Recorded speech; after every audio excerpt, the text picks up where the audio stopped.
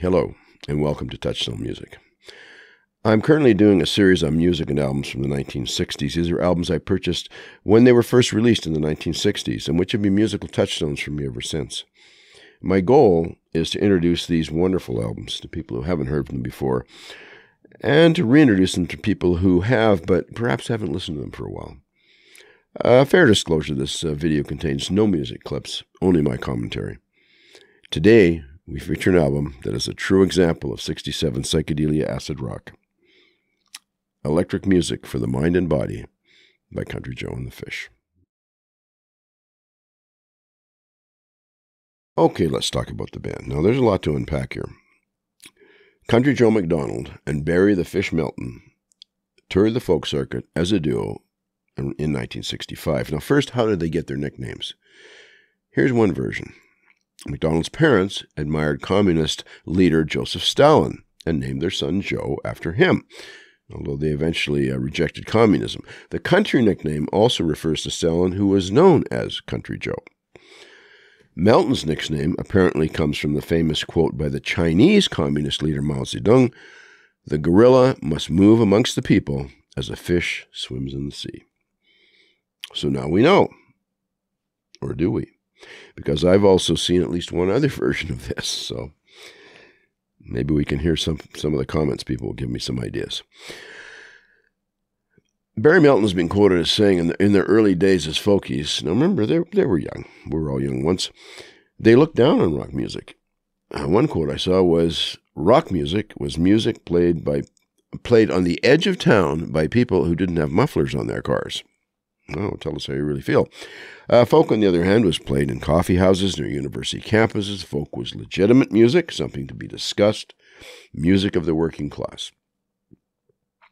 However, in 1965 or early 1966, McDonald and Melton saw the Butterfield Blues Band performing live, reportedly while the duo were high on LSD. Now, remember, in those days, LSD was legal. The pair became convinced that electric music was also authentic music they gradually added other members, electrified their set, cutting a couple of uh, um, early EPs, which were kind of longer than, than the single sided 45s, but shorter than the uh, full uh, albums. Joe McDonald specifically wanted an organist to be included after hearing Al Kooper playing on the uh, album uh, Highway 61 Revisited by Bob Dylan. Now, uh, we'll, we'll get a little uh, nerdy here. Uh, Kooper played a Hammond organ on Highway 61, but uh, David Cohen, who, who became the organist uh, for the Fish, uh, ended up with a more affordable Italian farfisa. I believe I'm pronouncing that correctly.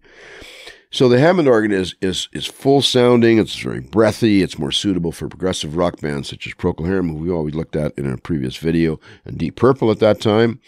Uh, the Farfisa sound is thinner, funkier, and suited the Fish's earthier sound. So you might say, oh, you mean like a church organ versus sort of a garage band organ? Mm, not necessarily, because I believe that Richard Wright of Pink Floyd also played a Farfisa, and it's hard to imagine anyone calling the Floyd a garage band.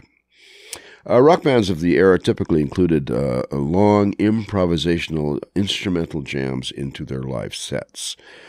Audiences came to these concerts really expecting to hear this kind of music. Uh, they they wanted to see, hear the band strive for this kind of spontaneous musical creativity and interplay. One song could last for hours on stage, depending on the, um, shall we say, psychological state of the band at the time. Uh, McDonald and Melton were also familiar with extended onstage jams from their folk days and gradually adopted that format into their electrified music.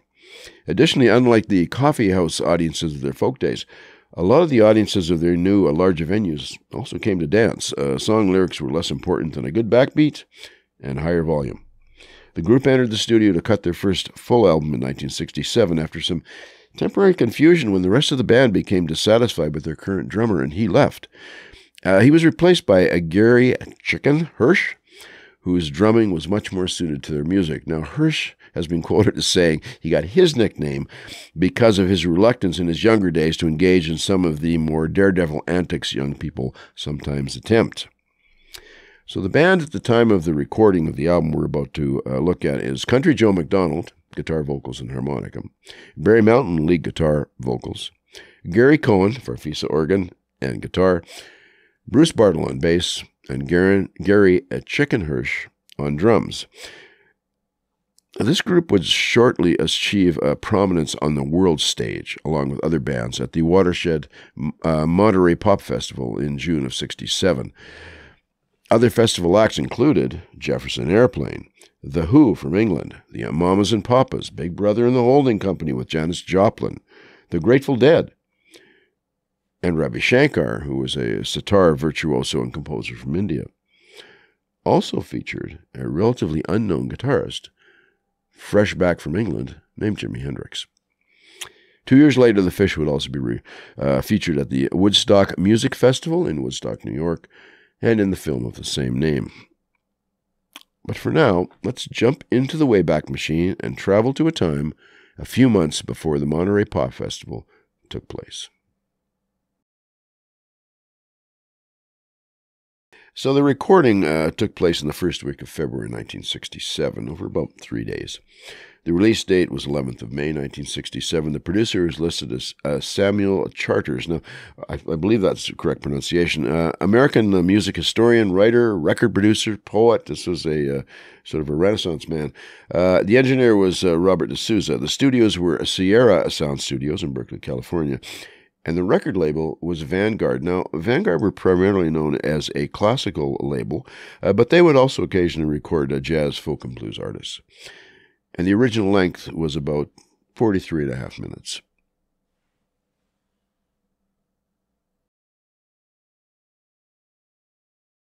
Well, the title. Hmm. Another great album title, in my opinion. But I searched and searched, and folks, I could find no info on its actual creation. Uh, my apologies again. I'll try and do better next time. So the sleeve design is accredited to Jules Halfant. He was an American painter and printmaker, and from 1953 to 1988, he was art director of Vanguard Records. Uh, he designed albums for many artists, including Country Joe and the Fish. The album cover itself shows uh, photos reportedly from a live performance at the Fillmore Auditorium in San Francisco and, and prominently features the light shows of uh, those times. Speaking of light shows, um, I used to love the old uh, liquid light shows, um, but evidently they were very difficult to produce. They were very messy and they didn't last too long. But while they were going, you can get kind of a feel for them if you buy uh, or look at a lava lamp. But honestly, folks, until you were experiencing it live with the kind of music and volumes of music in those days, you really can't get the full impact of it. As I say, I miss those. I wish I could somehow digitalize them. Hmm, maybe that should be my next project digitalizing liquid light shows. What do you think? I purchased the album sometime in 1968. As I've mentioned before, I purchased a lot of albums during that period. I'd first heard the album in the depths of a friend's uh, basement rec room, and I wanted to add it to my collection. It was the first psychedelic acid rock album I ever heard or purchased. I recall being somewhat nervous at the time purchasing it, taking it up to the cashier. I, I think I was afraid he'd think I was some sort of drug crazed hippie or something. I don't know what, what I expected him to do or, or, or say. But he took my money without comment, uh, and I breathed a sigh of relief as I exited the store with my ill gotten gains safely wrapped in an anonymous uh, uh brown uh, bag.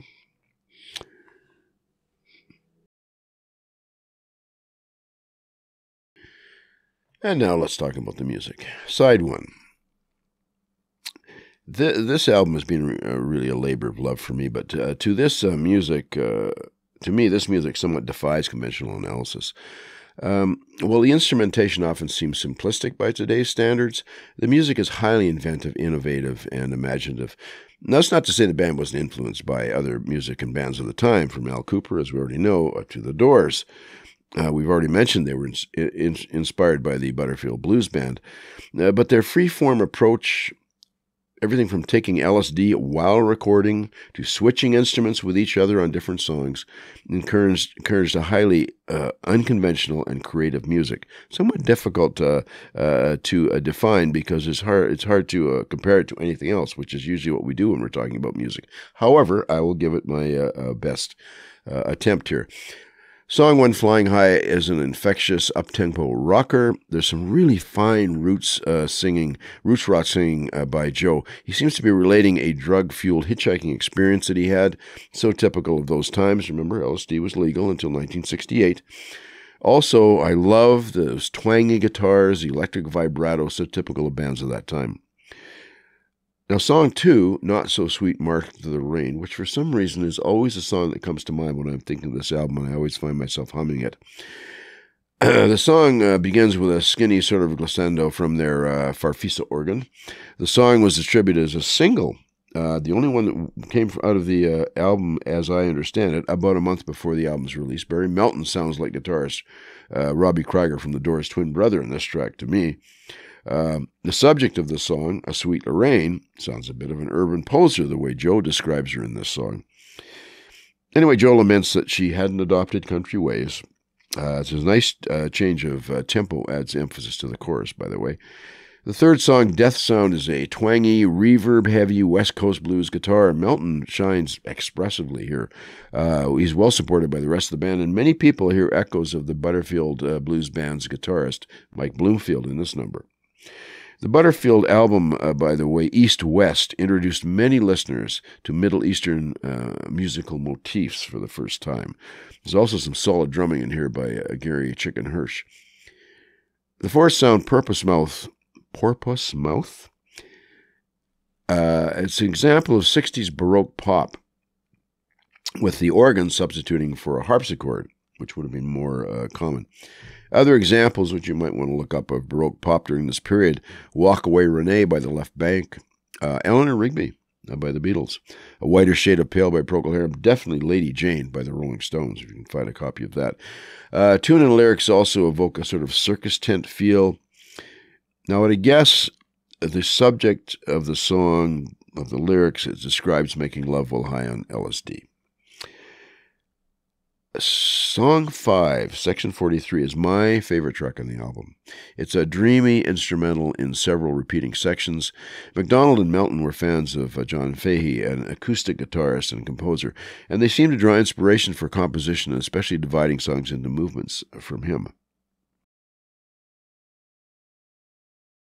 So, side two on the vinyl uh, record uh, begins with Superbird. Now, this is more West Coast blues guitar. It also has the strongest political message uh, on the album, and it sparked concerns it would be banned from radio play. When that didn't happen, however, the record company gave them the green light to uh, record another politically charged song, which would come on on a future album called The Fish Cheer. Now, both uh, The Fish Cheer and Superbird had previously appeared on an EP they had recorded. Song 7, Sad and Lonely Times, is a country blues, uh, somewhat reminiscent of the Byrds. Um, it seems to been one of McDonald's earlier tunes, and guitarist uh, Barry Melton sings lead on this one, as he does on the next song, Song 8, Love. Now, this song reminds me of a Memphis soul track, a la Booker T and the MGs. Barry Melton again credited with singing lead, Song 9, bass strings. Bruce Barthol supplies a very nice, slow walking bass line. I love walking bass lines. Uh, trippy lyrics, nicely offset by Barry Melton's tasty, restrained guitar in the background. Song 10, second from last, is, is a Doors like melody. It's again led by the organ. Fine guitar work, presumably by Melton. Song incorporates several different subtle movements. Uh, there's more a signature a plaintive harmonica by McDonald. I love Joe McDonald's harmonica style of playing. And the song doesn't overstay its welcome. It says what it has to say and moves on. I like that too. The last song, Grace, is supposedly written for Grace Slick of Jefferson Airplane, who we've covered in a previous video. It uses studio effects uh, to good uh, advantage on this song. There's bells and chimes, there's some reverb vocals, which adds to the dreamy sort of ambiance that the song weaves. Unlike some of their contemporary West Coast bands, uh, the Fish were relatively unknown at the time uh, this album was recorded. They had achieved some local notoriety, but they were not yet on the world stage.